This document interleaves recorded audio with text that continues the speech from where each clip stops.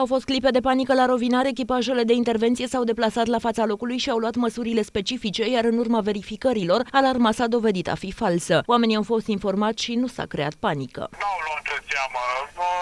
Și-au dat seama că este o alarmă farsă, lucru care s-a și confirmat.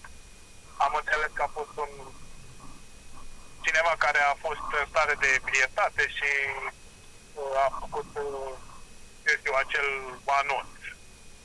Nu, nu s-au speriat oamenii. Bărbatul ar fi sunat din nou la 112 și a spus că a vrut să verifice cât de repede se mobilizează autoritățile după anunțul de amenințare cu bombă.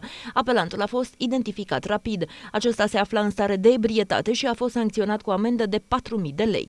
La data de 27 octombrie anul curent, polițiști din cadrul poliției orașului Rovinari au fost sesizați cu privire la o alertă cu bomba în incinta termocentralei Rovinari. Apelantul în vârstă de 44 de ani din orașul Rovinari a fost sancționat contravențional cu amendă în cuantum de 4.000 de lei pentru alertarea falsă a polițiștilor prin apeluri de urgență 112.